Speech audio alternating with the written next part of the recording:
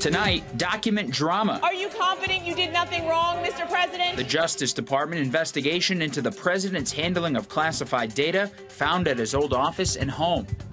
Plus, countering a triple threat. The U.S. ramps up military cooperation with Japan in the face of growing tensions with China, Russia, and North Korea.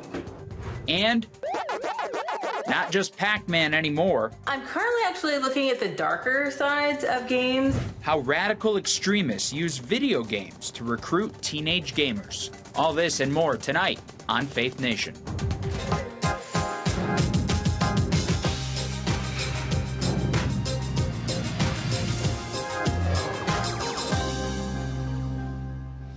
Backlash over the president's handling of classified documents. Welcome to Faith Nation. From our studio in Washington, D.C., I'm Matt Gelka. The fallout continues following the discovery of classified documents at President Biden's office and home from his time as the vice president. The revelation is proving to be politically explosive with an independent special counsel appointed, appointed by the Attorney General now investigating. The White House insists the documents were just misplaced.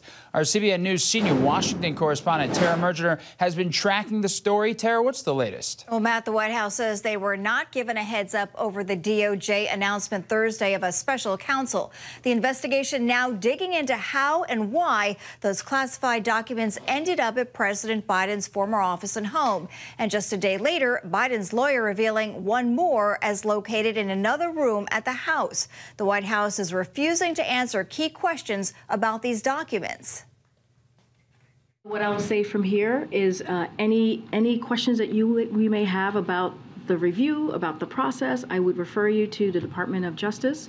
Uh, I would also refer you to my colleagues over at the White House Counsel. Uh, I'm not going to get into any specifics from here.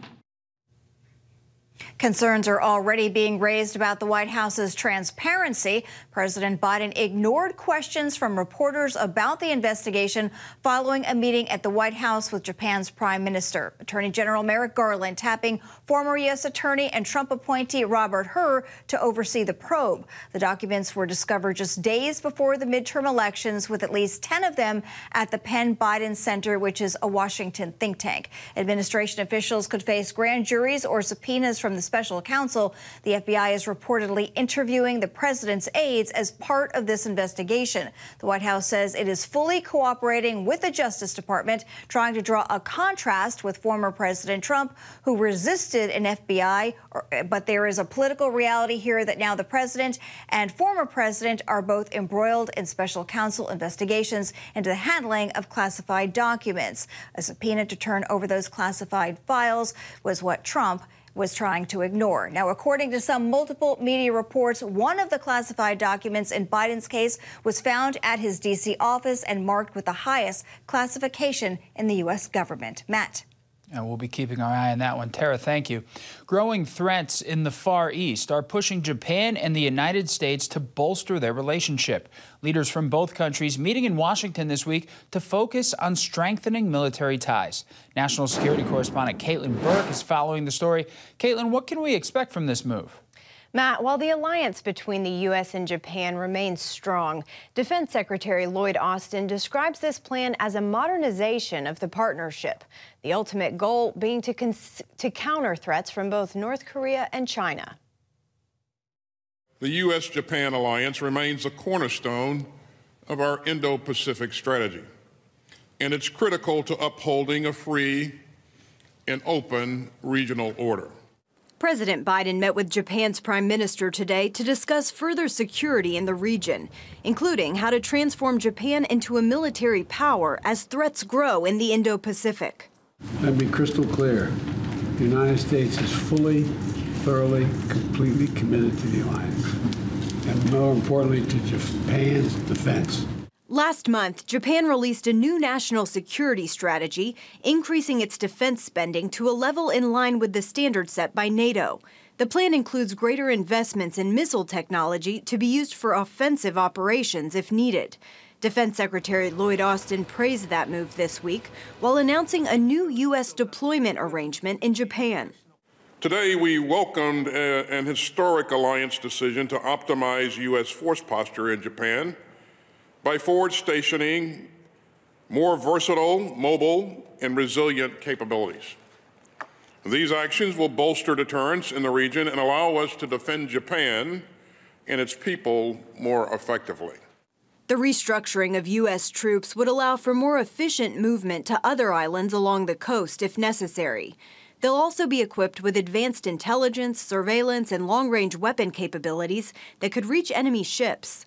We're replacing uh, an artillery regiment with an outfit that's, uh, that's more lethal, uh, more, uh, more agile, uh, more capable. Secretary of State Antony Blinken also announced a new space component between the two allies, noting that attacks to, from, or within space present a clear challenge. This agreement has been a some other issues discussed during the summit today between President Biden and Japan's Prime Minister include global supply chains, the war in Ukraine, and climate change. Matt?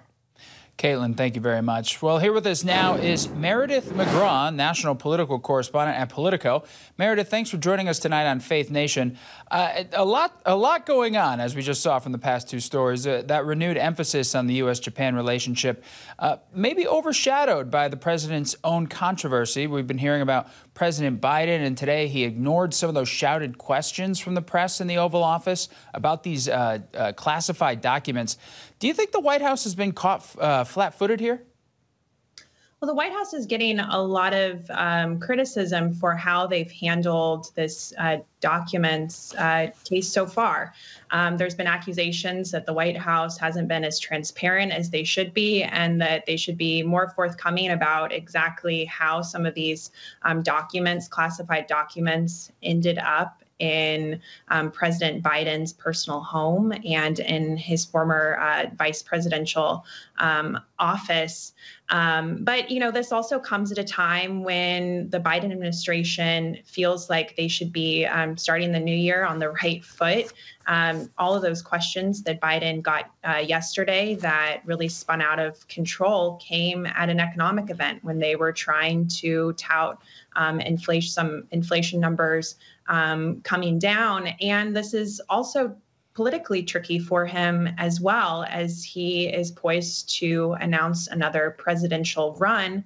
Um, one of the the uh, talking points against uh, President Trump, his own handling of classified documents, um, sort of comes comes into question as both the former president and now President Biden have had are having special counsel investigations into their behavior. Now, you just mentioned former President Trump. I guess you can't really talk about uh, the Biden situation without talking about that Trump situation. So, so the question here is: Is there some sort of level of hypocrisy on both sides of the aisle? Obviously, uh, critics will bring up the treatment of President Trump and what the FBI did at Mar-a-Lago. So, are we seeing a level of hypocrisy now that uh, President Biden has his own document scandal going on? Look, there's no question that classified documents should be handled in a very sensitive way. Um, we're talking about information that could jeopardize American secrets. It could potentially jeopardize, you know, our, our military, people serving abroad, you know, really important things. And the current protocol is that all of those documents are turned over to the National Archives, and there's specific um, legal systems for declassifying that information. And the former president has had, and his allies have had uh, a bit of a political heyday with this because they are able to call for um, equivalent treatment here of, of um, President Biden. And I think there are key differences between both of these cases. Um, the former president um, had a, a large uh, batch of, of classified documents that were found at his home. And it came after almost a year long back and forth with the archives over getting those documents back. And he's claimed that he was able to declassify them. And there's a legal debate around all of that. Um, whereas with, with President Biden, it does seem his lawyers found this and immediately went to the archives um, to, to turn it over.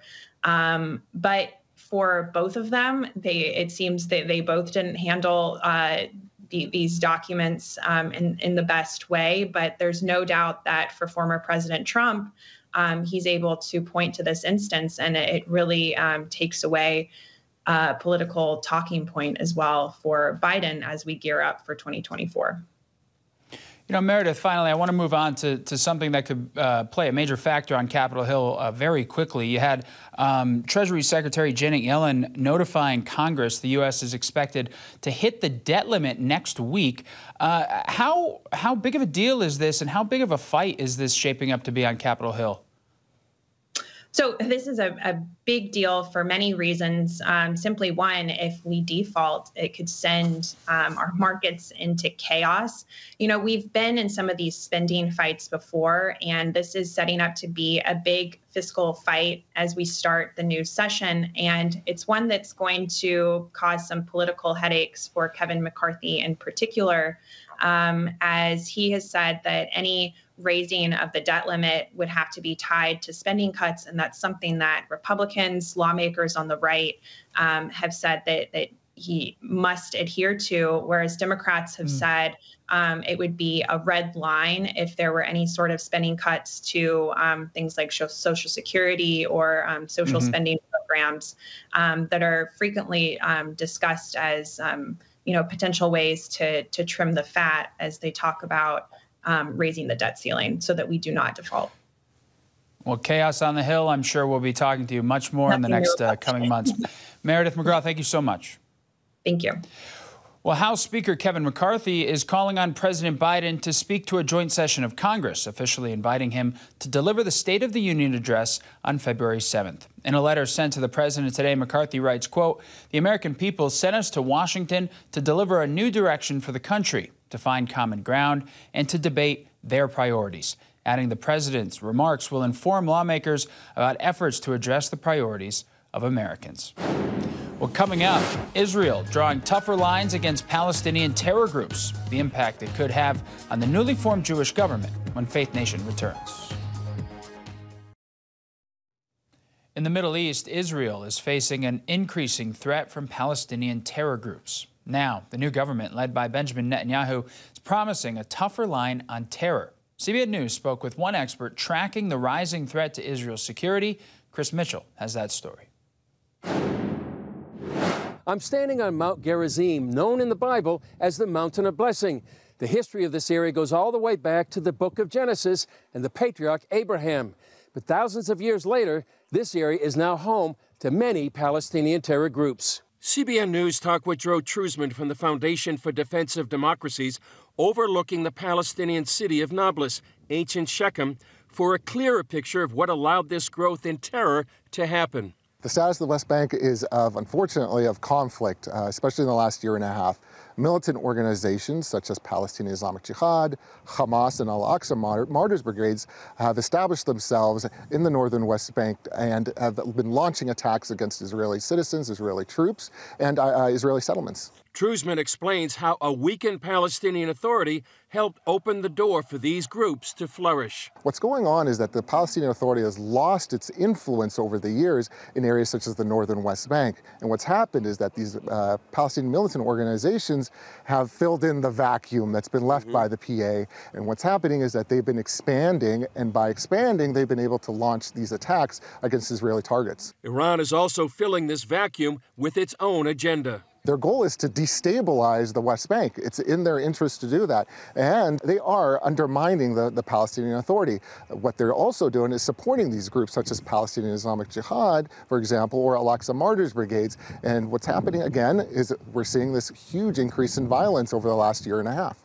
In order to show the world the true picture of what's happening in the West Bank, the Foundation for Defense of Democracies has created this interactive map on their website. We've taken media, or we've taken data from local media, we've taken data from uh, IDF statements and um, claims by militant organizations, and we've put it together in this visual, and which uh, describes and shows, or illustrates rather, mm -hmm. all the violence that's been happening since at least late March of this year. And it's very impressive as far as you can really see all the shooting attacks and everything that's been happening in the past year and a half here. It's, uh, it's unfortunately, it's, uh, it's very sad to see, but uh, it's reality. In March of 2022, the IDF launched Operation Break the Wave to contain the violence and prevent further attacks.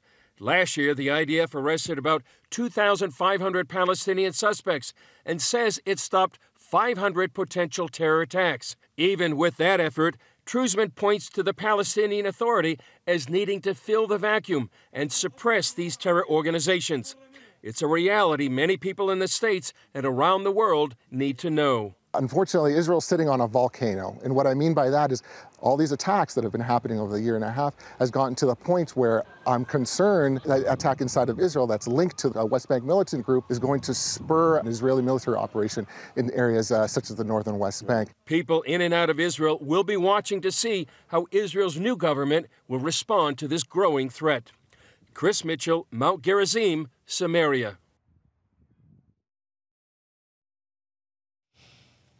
luring troubled teenagers through video games. That's the tactic some extremist groups are using to recruit new members. Brody Carter spoke with a former Nazi to hear firsthand how it happens and what can be done to protect against it.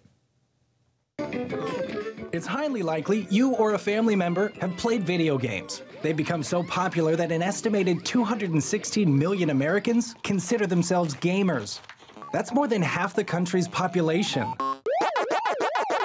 And today's video games are a far cry from Pong and Pac Man, for better and for worse. I'm currently actually looking at the darker sides of games and how games are being leveraged for radicalization and the mobilization of radical networks. We could post somebody make a Nazi game on Roblox let alone one of such expanse. Alex Newhouse and Dr. Rachel Kowert are behind a groundbreaking study on the evolution of gaming and the platform's growing use to promote extreme ideologies and radicalization. I personally focus mostly on the far right, and it appears that the far right is the most interested in using game platforms. But jihadists, Islamists, like they also engage with with um, with gaming platforms. They try to recruit teens and adolescents. It's a very small group of people but it's a very powerful group of people. For those who believe they or their kids are safe from extreme propaganda, the Anti Defamation League has found close to one in four people are exposed to white supremacist ideologies on the internet. That's about 54 million Americans. It was so shocking to me that the number was it was 23%. I was like, it can't be 23%. Like that is so high. How is that possible? So shocking, it became the catalyst for Kowert and Newhouse to dive into the research in order to raise awareness. One aspect behind this trend is the combining of video games with streaming platforms or social networking apps. Discord and Twitch, which aren't games, those are called, you know, we refer to those as gaming adjacent platforms. And then things like Minecraft and Roblox, which have some sort of interactivity, those are games. Given this overlap, players can stream live gaming sessions or connect with complete strangers through chats and forums, which can be great, but also dangerous. Games were created as games first and social platforms second. But the problem is that the growth of games as kind of social networking spaces has exponentially outpaced the rate at which the gaming industry has kept up with their moderation. Discord, a social media platform for gamers, was specifically identified in 2020 as a hub and community for right wing extremism. In Europe, the country's counterterrorism coordinator doubling down on that warning, saying extremists are increasingly present in digital gaming spaces. They shouldn't be leaving the game with strangers, just like you wouldn't leave the park with a stranger. If somebody's saying, hey, why don't you leave this gaming space and come join me and these other people you don't know on a third party server, that's usually a red flag, especially for younger children. Even so, Rachel points out the research finds there are game spaces that provide more good than bad. She adds there is a darkness, however, which is why she and her colleague are working to make games a safer place. I was a former extremist. I de radicalized uh, almost 20 years ago. Um, I was part of a uh, organization called the Rolling Rollingwood Skins, which was a offshoot of one of the largest national socialist or Nazi movements in the United States. Ryan Lowry shared with CBN about his former life as a prominent neo-Nazi, with the goal of taking online hate groups mainstream. It's in every um, platform you go to. These recruiters, whether it's through jihadism or domestic terrorism, whatever it might be, they they've adapted to and know where they need to be and how to find the most vulnerable people. In finding ways to finance his mission and move in the ranks, Lowry got into trouble with the law. While his life of crime ultimately led to prison, the time behind bars provided distance from his extremist group. Friends and family helped Lowry de radicalize and ultimately rededicate his life to Jesus Christ. I was born and raised a Christian um, my whole life. I, I think that sometimes what happens is is we can we can get tunnel visioned at times being Christians and not opening ourselves up to what other cultures are there and what other cultures do offer. I, I want it to be a shock to people. I want them to understand that um, you can be anybody. Nobody is untouchable from what these groups offer. For 10 years, Lowery has helped extremists find a new way to live through a counterterrorism effort called Parallel Networks. He says the only way to open those doors is through conversations and compassion. I looked at Jesus Christ and the way that he um, didn't go into churches to preach to the choir. He went out into areas where people were struggling, people that, you know, uh, adulterous, like Mary Magdalene and others. I'm a firm believer that humanity um, we're supposed to treat each other with peace and kindness and love and, and, and this lack of empathy that we have in our communities um, is what's ultimately i believe tearing us apart Unfortunately, technology combined with bad actors has torn the social fabric by trying to replace community with an online world. That's why Dr. Kowert wants to remind gamers and others that when things appear bad online or in life, they have the power to make a change. When things seem a little bit off, the other great thing about games and the internet is you can just switch to a different server or switch to a different game or mute that person or block that person. Um, you don't have to engage in conversations that make you feel uncomfortable. Brody Carter, CBN News. Well, finally tonight, maybe you're skeptical about whether unidentified flying objects pose any real threat to the United States or are even real. But a new report shows that the U.S. government is taking them very seriously. The Pentagon released a long awaited 2022 report on what they refer to as Unidentified Anomalous Phenomena, or UAP.